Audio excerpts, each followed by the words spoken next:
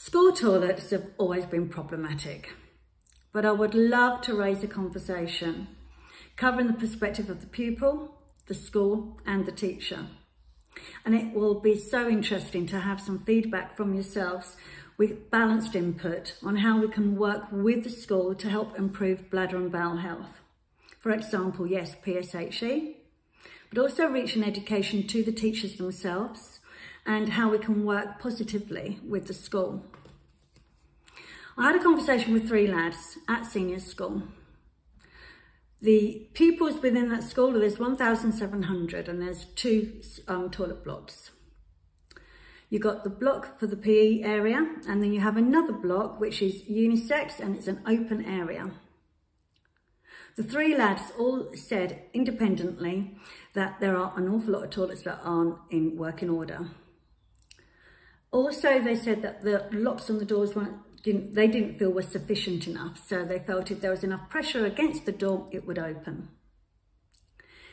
In lessons, if they need to go to the toilet, they're not always allowed. Yes, they can gain a toilet pass.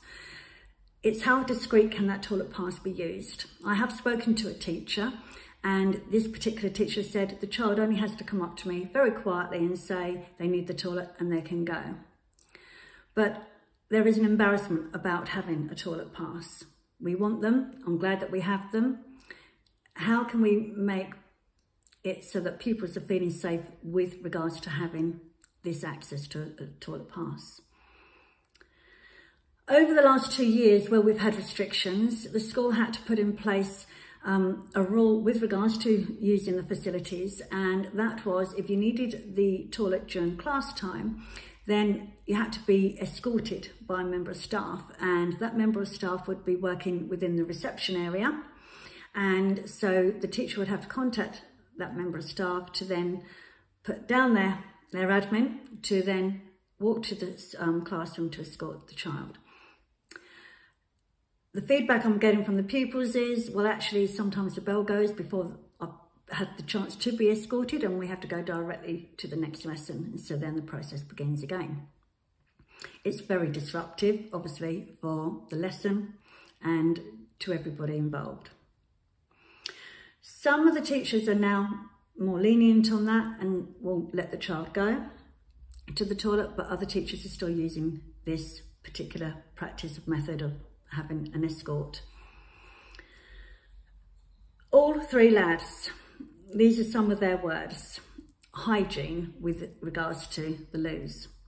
Horrendous, shocking, the PE toilets in particular. Again, the feedback from the, the lads that I've spoken to, the PE toilets are closed for cleaning in period three and four. So then there's only the one block left available. In fact, actually, other toilets are also closed off within that block during lesson time. Is that to prevent abuse of the facilities? It could be. Um, toilets, are also closed promptly at the end of school day, was something else that they mentioned. If you've got after school clubs, it's harder to find a toilet that's open when you finish that club.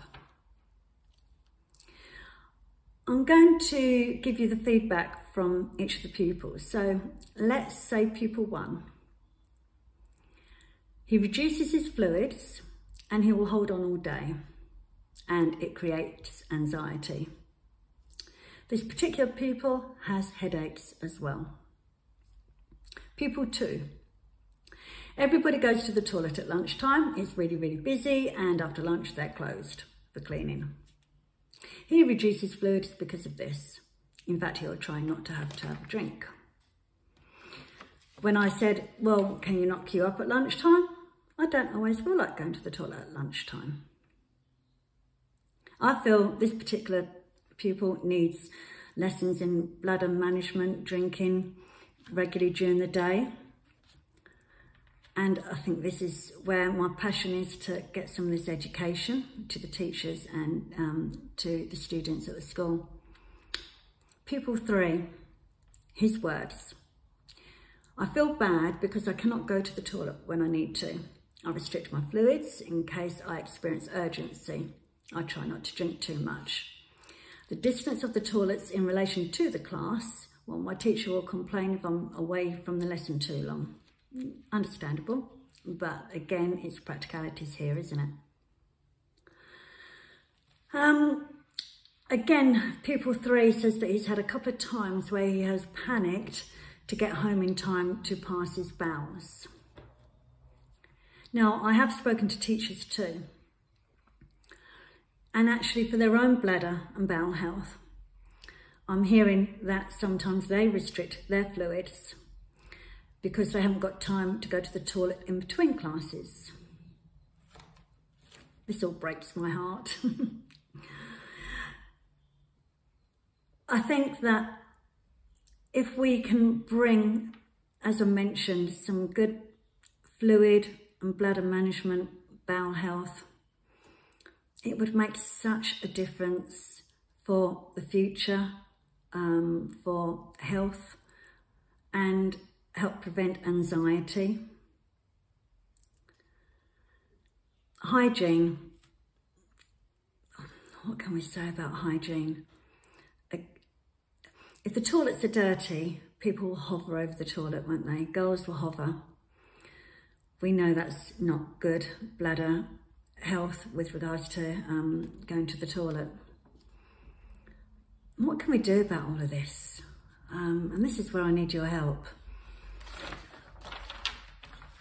There is so much I could say about this. Um, I'm, I'm looking at approaching school in my professional manner and I'm going to go in there really open to just say why I feel this is important. Could I have a look around the toilets? Is there anything I can do to help with education for bladder management, bowel management to the pupils, but also to the teachers? So just not for the teachers for themselves, but also so they understand.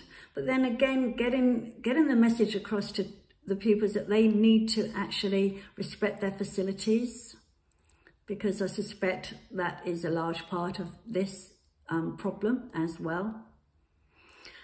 I think I've covered everything.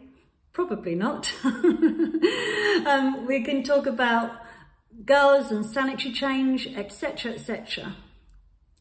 It's a huge subject, isn't it? So yes, please give me your input if you've worked in this area and I'm going to see what I can do for our local schools. Thank you.